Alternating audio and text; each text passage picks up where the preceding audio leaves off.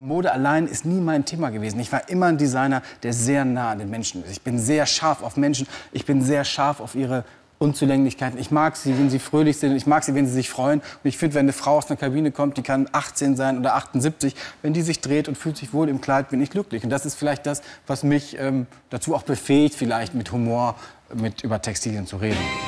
Leute glauben immer, ich will sagen, ganz oft sitze ich irgendwo, kommen die an und sagen, Herr Kretsch, mal ganz schnell, wie viele Punkte? Sag ich, na ja, ja. Im Flieger. Vor kurzem sitze ich, sitze ich im Flieger morgens und gucke so runter, weil ich, und auf einmal sagt eine Frau zu mir, Herr Kretschmer, Sie können sich, ich weiß, ich habe Sie erkannt, aber ganz kurz, hält mir so ein Handy hin, das rechte oder das linke Kleid? Ich habe gesagt, das linke, Dankeschön. Also das geht ganz, Mama geht es ganz schnell auch, also das geht ganz fix oder ich kriege rührende Briefe und auf der Straße selber muss ich sagen, ich mag die Vielfalt. Ich mag. Deswegen liebe ich auch Shopping Queen so. Das spüren, glaube ich, auch die Leute, dass ich einfach Freude habe, das zu machen, weil ich Mode was Wunderbares finde. Aber Mode allein ist nie mein Thema gewesen. Ich war immer ein Designer, der sehr nah an den Menschen ist. Ich bin sehr scharf auf Menschen. Ich bin sehr scharf auf ihre Unzulänglichkeiten. Ich mag sie, wenn sie fröhlich sind. Ich mag sie, wenn sie sich freuen. Und ich finde, wenn eine Frau aus einer Kabine kommt, die kann 18 sein oder 78, wenn die sich dreht und fühlt sich wohl im Kleid, bin ich glücklich. Und das ist vielleicht das, was mich ähm, dazu auch befähigt, vielleicht mit Humor mit über Textilien zu reden.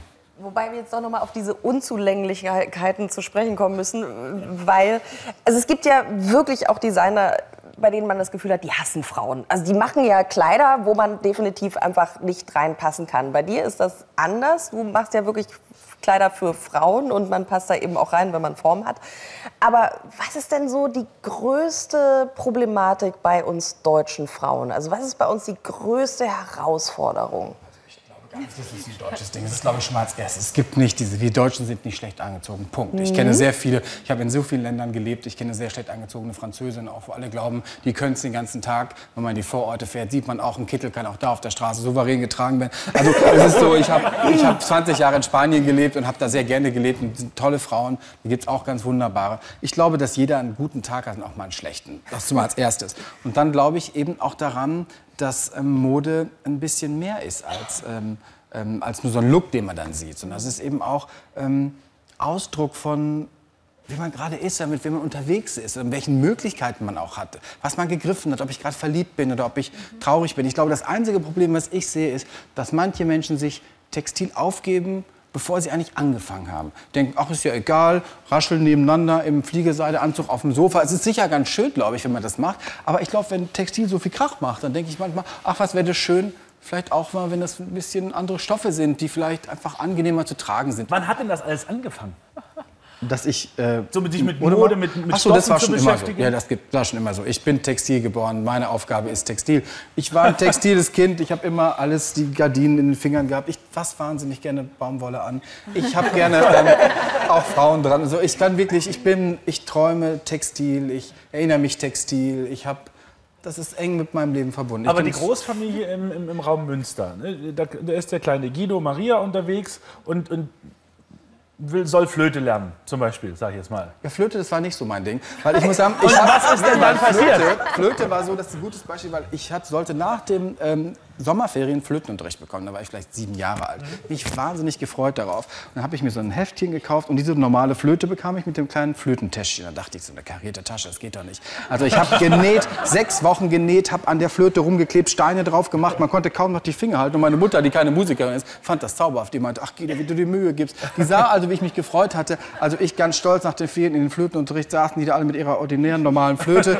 Ich war also Lichtjahre davon entfernt, hatte so eine lange Flötentasche aus Samt und habe die da ausgepackt und mein Notenheft bemalt. Und da flippt die aus, die, Not, die Musiklehrerin flippt aus. Was hast du denn gemacht? Das hat mit Musik nichts zu tun. Ich habe weinend das Ding verlassen. Und da weiß noch, dass meine geliebte Mutter hat mich hinten aufs Fahrrad gesetzt. Und meine Mutter ist so eine Frau, wenn die sich aufregt, kennen ja viele Frauen, dann weint die auch vor Aufregung. Wenn die sich ärgert, weint die. Ich bin leider auch ein bisschen so.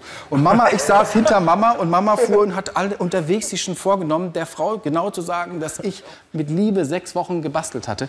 Wir kommen da rein und wir haben beide nur weinen können. Aber da wusste ihn, hat sie nur gesagt, ich liebe ihn über alles. Und der hat sich so. Und da dachte ich, ach, meine Mama ist stark, wir müssen gar nicht flöten. Und das ist auch so geblieben.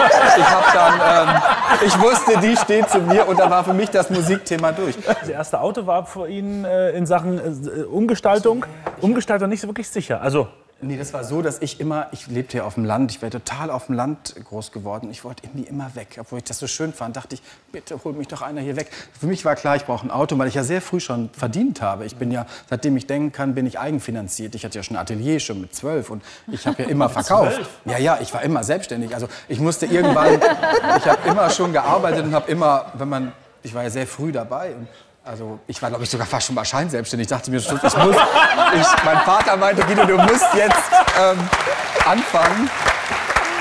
Und dann habe ich mir ich konnte mir auch alles kaufen sozusagen. Ich bin auch allein in Urlaub geflogen, schon mit 14 nach Mallorca ganz allein und so, weil meine Eltern Angst vorm Fliegen hatten.